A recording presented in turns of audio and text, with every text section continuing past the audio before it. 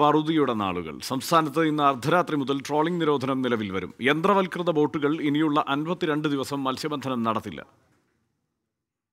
Trawling നടപ്പാക്കുന്നതിനായുള്ള എല്ലാ സുരക്ഷാ ക്രമീകരണങ്ങളും പൂർത്തിയായി കഴിഞ്ഞു. ഇന്ന് അർദ്ധരാത്രി പന്ത്രണ്ട് മണിയോടെ കൊല്ലം നീണ്ടകര പാലത്തിന് താന ഫിഷറീസ് വകുപ്പ് ചങ്ങല സ്ഥാപിക്കുന്നതോടെ നിരോധനം നിലവിൽ വരും. അൻപത്തിരണ്ട് ദിവസത്തെ ട്രോളിംഗ് നിരോധനമാണ് ഇന്ന് രാത്രി മുതൽ നടപ്പാകുന്നത് പരമ്പരാഗത മത്സ്യബന്ധനത്തിന് മാത്രമാണ് ഈ കാലയളവിൽ മത്സ്യബന്ധനത്തിനായി അനുമതി നൽകിയിട്ടുള്ളത്. ട്രോളിംഗ് നിരോധനം മത്സ്യത്തൊഴിലാളികളെ പട്ടിണിയിലാക്കും. ബോട്ടുകാർക്ക് അവരുടെ ബുദ്ധിമുട്ടുണ്ടാവും. ഈ വള്ളക്കാർക്ക് ഇപ്പോൾ മീനൊന്നുമില്ല ഇതുപോലെ ഈ ചെറിയ ചൂടയൊക്കെ വന്നുള്ള ജീവിതമുണ്ട്.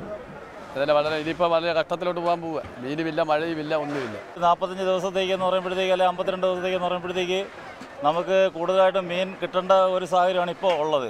ഇനി അങ്ങോട്ട് കിട്ടാനുള്ള ചാൻസ് കുറവാണ് കാര്യം പറയുക പറയാ അതിനുള്ള ചെറുമീനുകളൊന്നും ഇപ്പോൾ കടലിൽ വന്നിട്ടില്ല. അപ്പം നമുക്ക് വറുതിയിലേക്ക് പോകുന്നൊരു അവസ്ഥയിൽ തന്നെയാണ്. ട്രോളിംഗ് നിരോധന കാലയളവിൽ തൊഴിലാളികൾക്കായി അനുവദിച്ചിട്ടുള്ള ആനുകൂല്യങ്ങൾ കൃത്യസമയത്ത് നൽകുമെന്ന് ഫിഷറീസ് വകുപ്പ് അറിയിച്ചിട്ടുണ്ട്. തീരദേശ പോലീസിന് പുറമെ മറൈൻ എൻഫോഴ്സ്മെന്റും കടലിൽ പ്രത്യേക നിരീക്ഷണം ആരംഭിച്ചിട്ടുണ്ട്. അന്യസംസ്ഥാന ബോട്ടുകൾ കേരള തീരം വിട്ടുപോകാൻ നിർദ്ദേശം നൽകിയിട്ടുണ്ട്. ട്വന്റി കൊല്ലം